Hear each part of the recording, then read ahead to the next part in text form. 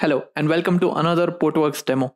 In this demonstration, we are going to be talking about the latest and greatest release from Portworx Backup, which is version 2.3.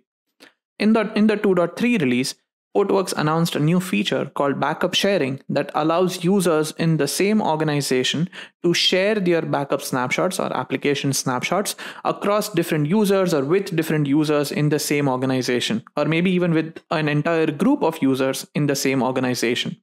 You can do this at two levels. You can share individual backup snapshots with users. So in the future, if you are not available as a developer to restore your application, maybe your application owner or somebody from your own team, a second developer can go ahead and restore that application for you on a different cluster if needed. The second way to do this is share an entire cluster. So basically any backups that already exist and any future backups that belong to that cluster resource will automatically shared we will be automatically be shared with the the receiver that can be an individual an application owner a developer or an entire team of uh, resources. So uh, in this demonstration we are going to show you how all of this actually works. So to do this we have three different users for you. The the primary users is is one of the developers uh, who is also an administrator for px backup. He has two uh, different uh, Kubernetes clusters. In this case, it's Amazon EKS clusters with a few applications already running and a few backup snapshots already being taken. Uh, and then we have uh, two different personas. We have another developer account, and then we have an application owner as well. So uh, we'll cover a couple of different scenarios. In the first scenario, we'll see how you can share a single application backup snapshot with another developer from the team. And then the second scenario, we'll focus on how you can share an entire cluster and all the backups that belong to it with the application owner. And then we'll talk about what are the different roles and permissions that you can assign when you're sharing these backups. So let's start with uh, sharing an individual backup snapshot. To do this, we'll select the demo-bisha-prod EKS cluster, go to the backups tab, and you can see we have a simple WordPress site that's running that already has a backup. It is backing up to persistent volume, nine different Kubernetes resources. And to share this backup snapshot, all we need to do is select the snapshot that you want to share, hit share and here is where you can enter the name of the user or the group that you want to share this backup with so in this case i'm just sharing it with another developer from my team uh, whose username is just dev user one and once I select that user, I can select the level of permissions that I want to assign. I can just do a view only access. I can do a restore access or I can do a full access. View only basically means the other developer can see all the different backup snapshots that are available. Restore access allows them to restore that application from that application snapshot. And then full access gives them that additional or super user level where they can actually go ahead and delete a backup snapshot if they want to. So when you are sharing your backup snapshots, you do want to be careful with the level of permissions that you are assigning. And again, don't worry if you maybe give full access to somebody, but in the future you want to come, uh, change it and restrict it to maybe a restore access or a view only access. Portworx Backup allows you to do that as well. So that's how easy it is to share an individual backup snapshot. Let's switch our browser sessions and look at uh, the PX backup interface from a dev user one user account. Here you can see as the second developer, I don't have any uh, clusters of my own. But if I click on all backups, I can see a line item which, which shows me the WordPress backup that my first developer created. Uh, you will find that th there's a small logo on the right side which shows or highlights that this is a shared backup copy. But then since this user has restore access, all they can do is view it and then restore it if they want to. So this is a shared backup. If I click on it, you'll see I can do view JSON, show details, or restore my application from this application snapshot. So that's how it looks uh, to the receiver of a shared backup. So now that we know how to do a single application snapshot sharing, let's do it at the cluster level. So for that, we have another EKS cluster called demo-px.bisha. And in this case, we have a couple of different applications running across different namespaces, and we have different kinds of backup snapshots as well. We have scheduled backups, which take a snapshot every 15 minutes. Uh, we have individual one-time manual backups for Pacman application. And then we have an object lock enabled backup snapshot as well, which protects my organization from maybe a ransomware attack. So there are different kinds of backups and instead of sharing one at a time with my application owner, what I can do as a developer is share the entire cluster all the backups inside it with my app owner and give him or her full access or restore access. This way, uh, if something happens and I'm not available as a developer, my application owner can select which snapshot to use. So in a scheduled backup scenario, they can select the latest uh, uh, snapshot that they have and restore my application using that. So to share an entire cluster, we go back to the dashboard, select the, the buttons on the right hand side, and then click share all backups. This basically means I'm sharing my entire cluster with uh, with a different user or a different group of users. I can do the same thing, select my application owner's account. So application owner, username is app owner, and at demo.com it says email. I can select that user and then I can again do view only access, restore access, and full access. Since this is my application owner, I'll be more uh, generous and give them full restore access or full access to my entire backup uh, cluster.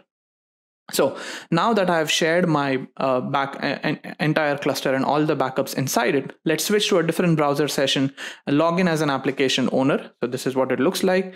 And then we'll go to the dashboard and click on all backups because all backups is the place where you can see all the different backups that are being shared with you or the backups that you have created on your own. Here you can see that uh, all the four backup snapshots that we saw uh, from the admin account also show up in the application owner account. And you can see that my scheduled backups show up, my object lock enabled backups show up, my one time ad hoc backups show up. And I get the ability to not just restore it, but also remove an application snapshot. So please make sure that the, the receiver that's the, the person that you are assigning or sharing your backups with, uh, with a full access uh, has the right set of like uh, is the right user you want to share it with because you don't want users to go ahead and randomly delete your application snapshots. When you share individual backups or all of your uh, backups in, in, a, in a specific cluster you also share the underlying cloud accounts and backup locations. So uh, now i can as the application owner let's see how i can use a shared backup to restore it to a completely different EKS cluster that's running in US East 1.